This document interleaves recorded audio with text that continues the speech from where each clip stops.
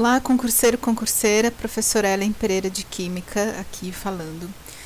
É, se você está muito ansioso, com medo e é cego para química, se você possui dificuldade em química, é, que você aprendeu lá no ensino médio, mas e agora você vai prestar um concurso público que cai química e está desesperado, então o seu lugar é aqui. Se você está sentindo que seus estudos não estão sendo produtivos, também o seu lugar é aqui. Eu produzo vídeos que vão te ajudar nesses dois sentidos, para que você aumente a sua produtividade nos estudos e para que você aprenda a química necessária para ser aprovado nos concursos públicos, certo? Então, se você se enquadra nesse caso, se inscreve no meu canal, clica no sininho para não perder os meus vídeos e hoje nós vamos continuar a nossa programação diária, sempre às 8 da noite, com uma resolução de exercício de química de provas passadas para o cargo de técnico de operação júnior. Então, hoje eu trouxe a questão 28 da prova 13, que é o seguinte: uma constante preocupação em plantas industriais é a proteção contra a corrosão de instalações e equipamentos construídos em aço carbono. A corrosão atmosférica, uma forma de corrosão generalizada de grande incidência, ocorre através da condensação da umidade do ar. Condensação da umidade do ar, gente. O que, é isso? É a transformação da água, né, no estado gasoso, vou colocar o Gzinho aqui, para líquido. Aí condensa a água. É uma transformação né, da, da matéria de gasoso para líquido, é condensação da umidade do ar na superfície do material. A reação global que descreve esse processo é dada por. E aí ele dá a reação do ferro com o oxigênio em presença de água. Sobre o assunto, considere as afirmações abaixo. 1. Um, o processo ocorre através de um mecanismo eletroquímico envolvendo tanto reações químicas quanto fluxo de elétrons. Então, eu vou definir para vocês o que, que é reação química, né? uma das definições. Quando a gente tem uma mudança, ou seja, uma transformação de um estado inicial para um estado diferente do inicial, ou seja, um estado final. A gente chama o estado inicial de reagentes e o estado final de produtos. Através dessa mudança né, de uma reação química, ocorre essa transformação. Então, tenta lembrar lá do seu ensino médio, busca em livros, busca na internet quais são os indícios para que uma reação química ocorra. Reação química é isso aqui, a transformação de um estado inicial dos seus reagentes para um estado final levando à formação de produtos.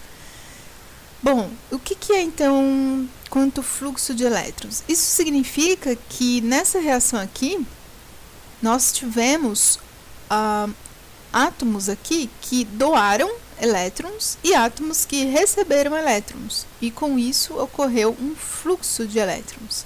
E ele define aqui que é uh, o que é então um, um mecanismo eletroquímico, né?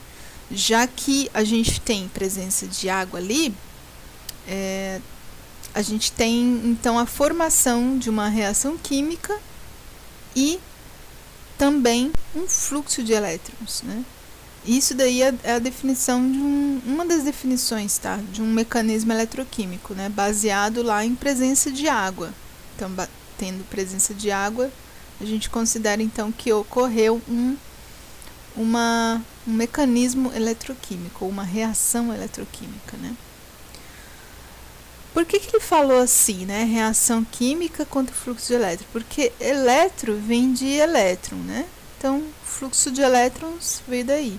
E químico vem da reação, né? Reação química. Então, por isso que ele define esta reação ali, e está certa, tá, gente?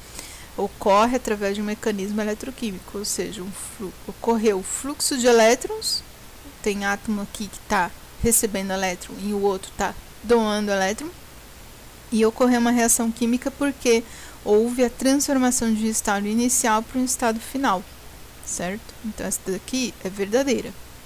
A2. O ferro Fe na reação sofre redução. Então agora ele já está tentando caracterizar quem que está recebendo e quem que está doando elétron, né? E ele diz aqui que o ferro na reação sofreu redução e perde dois elétrons. Está errado, porque se perde, oxida, tá? Então, quem sofre redução sempre recebe elétron. Então, por, por aí já está errado. Agora, vamos ver o que, que o ferro faz, oxida ou reduz. O ferro ele está aqui no lado esquerdo, né, nos reagentes, como ferro zero. E aí ele passa para produto como ferro mais 3, ou seja, ele perdeu 3 elétrons. Se ele perdeu 3 elétrons, ele oxida. Tá? Então, o ferro aqui, ele oxida. Ele perde 3 elétrons. Então, essa daqui está falsa. 3. O produto formado pela reação é óxido ferroso hidratado. Não, gente. Esse óxido aqui, pela nomenclatura de óxidos, é um óxido férrico, porque ele tem um estado de oxidação maior.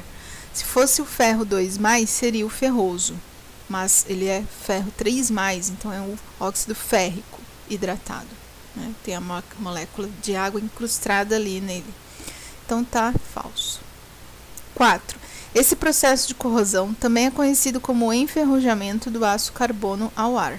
Sim, gente, o aço, só o aço, ele contém ferro, tá? Além de níquel, manganês, mas o aço contém ferro. E por conter ferro, ele é passível de se oxidar, ou seja, de ocorrer uma reação eletroquímica é, com o, oxigênio do ar e em meio aquoso, né?